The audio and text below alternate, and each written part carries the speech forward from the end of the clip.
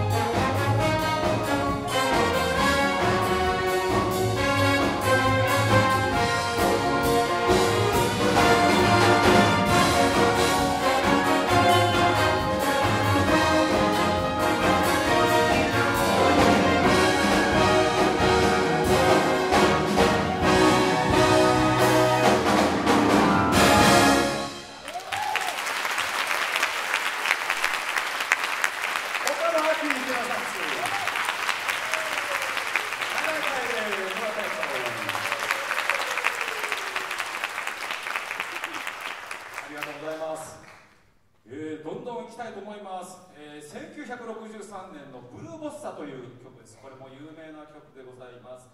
ケニー・ドーハム作曲ジャズのスタンダードナンバーでございますね。ハードバップとボサノバがミックスされた曲です。63年ですから私2歳でございます。はい今いくつでしょうか。嘘やろってね、えー、63年はですねアニメ「鉄腕アトム」が放送開始されました。あとですねこれちょっとびっくりしたんですけど日本初の高速道路がかかったんです。どこかと言いますと名神高速道路の立東から尼崎が開通。これがあの日本初の高速道路だったらしいです。あとケネディ大統領が暗殺されました、はい、あとサインペンが登場しました。どういういい話ですね、はい、タッパーウェア。これも登場しました。はい、えー、歌謡曲は「こんにちは赤ちゃん」知ってます？あずさみちおさん。ってる方拍手お願いします。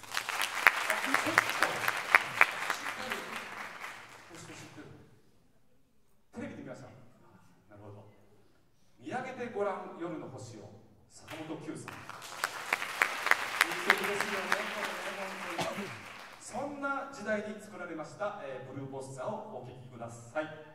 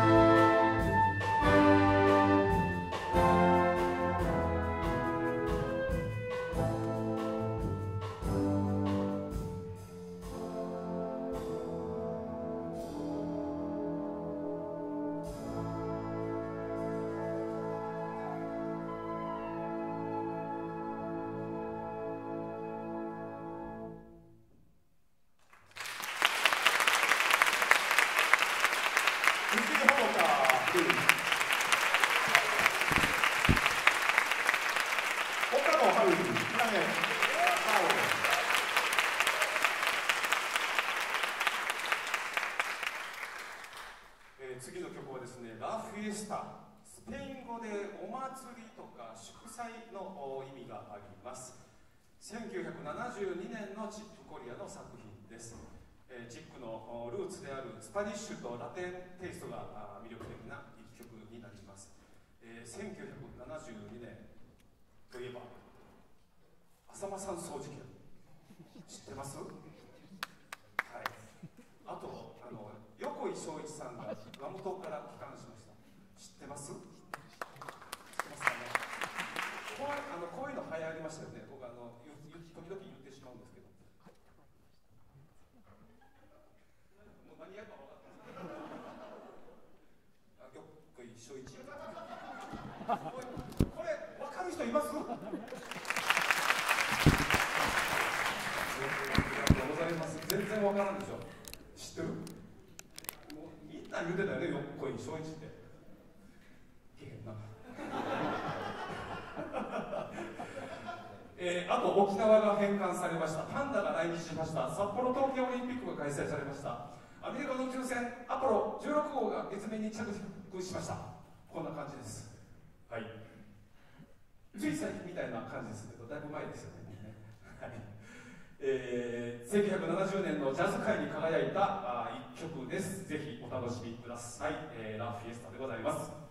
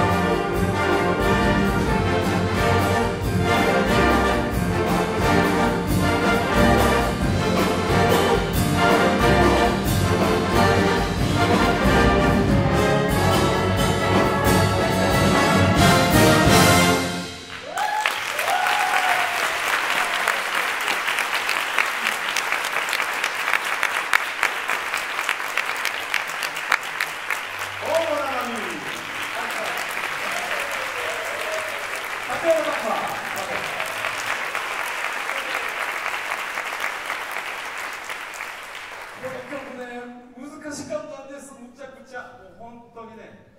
めっちゃ苦労したねこれ。無事終わってよかった。本当に。もうなんかねあの三拍子でしょ？三拍子ってすごい難しいですで三拍子の中に時々 one two three one two three one two three one two three one two one two one two って出てくるからそれがね結構ややこしいですよね。はい。苦労しました。はいありがとうございました。スクイブケイクス。これが、えー、本邦初公演、初編曲の初演になります。アメリカのファンク R&B バンド。違います？違いますねえ何？スクイブケイクスあススクイブケイクスは初演じゃないの？そうえいついつあ東京であそうか初演じゃないでねごめんなさいスクイブケイクスは初演じゃないですはいあの KSP は初演です QSP は初めてやります。ということで、えー、と初演です。ということで、スクイムケイクスというのは、えー、実はですね、女性の後ろ姿、えー、のなんか腰から下ら辺をあの褒める言葉らしいです。ということで、この演奏、KSP 初演奏の演奏です。スクープケイクスです。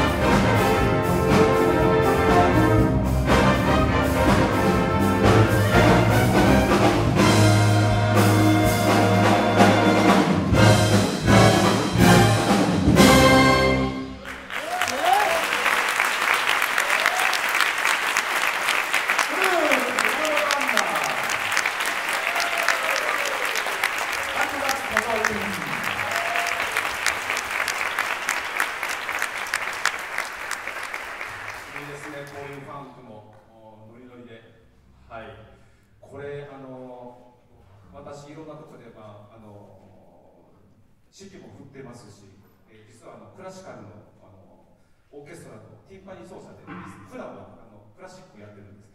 で大体あのクラシックの曲を指揮するんですけどこのこういうクラシックの指揮とジャズのこういう指揮する時に一番何が違うかというとですね左手をこういう話していいです左手をよくこう指パッチンしながらずっとやってるんです。で4ビートだかずっとわちょわちょずっとずっとこうやってるんですね。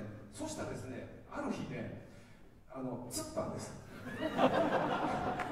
つってこれ2回ぐらいあの前のコンサートでこの狐さんの形のまま動かなくなっちゃって。どうしよう一生このままかなと思いながらめっちゃつってね。それ以外すごい気をつけてるんですけど。今日もあのお昼公演やりまして夜公演やってすぐになったらもう少しかなという感じなんですけど ちょっと気をつけながらやっています。はい。ありがとうございます。はい。それではですね次またこのラウンドミッドナイト渋い曲です、えー、セレミアス・モンクのスタンダードナンバーですね。ラウンドミッドナイト真夜中頃という真夜中頃になるとこう虚しくなったり悲しくなったりまたロマンチックになったりそういうこううつろなこう気持ちのような曲でございます、えー、1944年の作品でございます「ラウンドミッドナイト」です。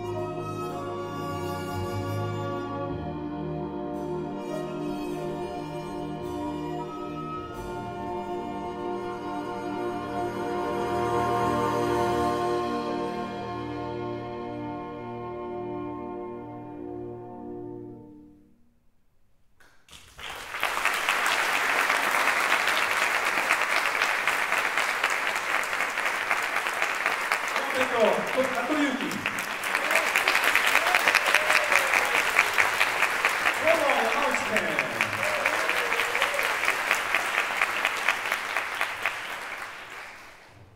す次の曲初披露です本当の初披露です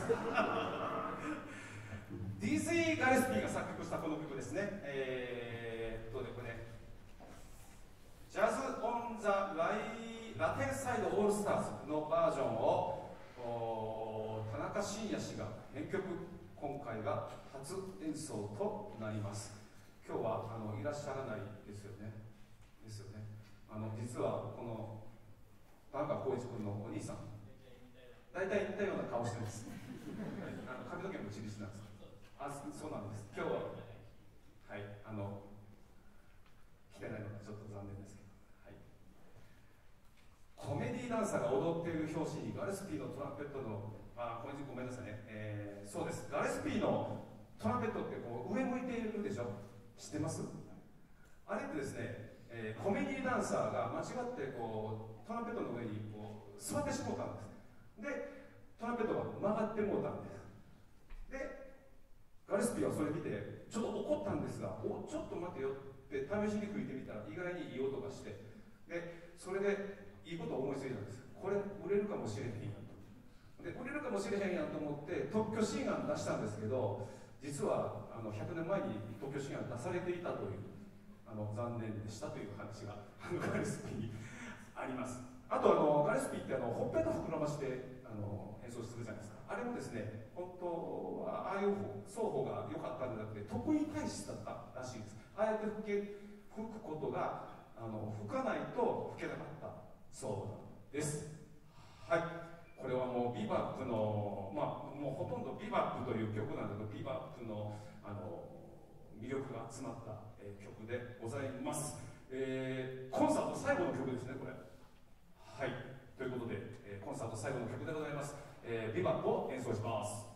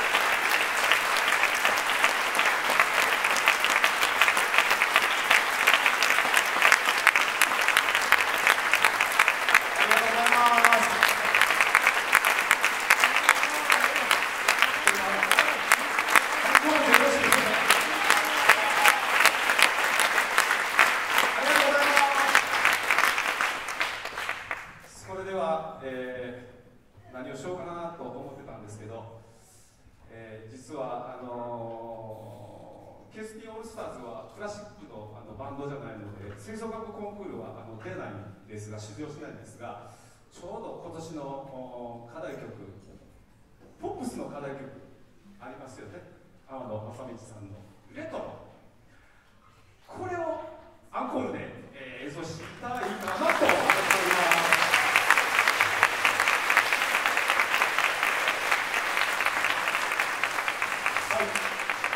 ということで、えー、ジャズポップスコンテスト1位のバンドがえー、課題曲をやるとどうなるのかというところをぜひ聴いていただきたいと思います。ありがとうございます。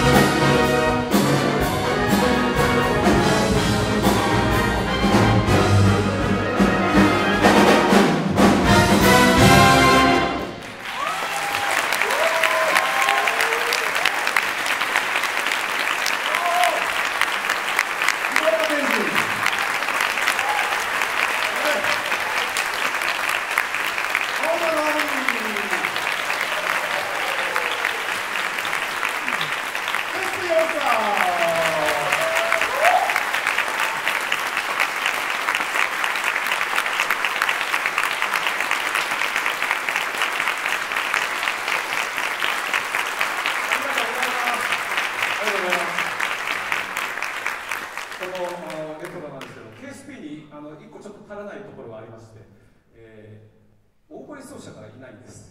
でオーボエ奏者いなくてですねあの中間で中間でオーボエのソロがあるんですけどこれ仕方なくクラリネットに行っています。あとですね、えー、トラあトランペットのソロがありました。トラ今日はフルーゲルホルンのソロになったんですけど、えー、我々吹奏楽コンクール出ませんので、えーと、楽器も変えております。それからエレキベース、えー、サイレントベースも使っております。本当はあの使ったらダメなんですけども、えー、吹奏楽コンクール我々全く関係ありませんのでこういう演奏させていただきました。はい。ということでもう一曲。